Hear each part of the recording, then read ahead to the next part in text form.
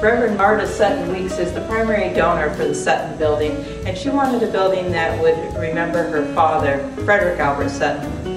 This is Frederick Albert Sutton, and he got his degree in, at the University of Utah in 1917.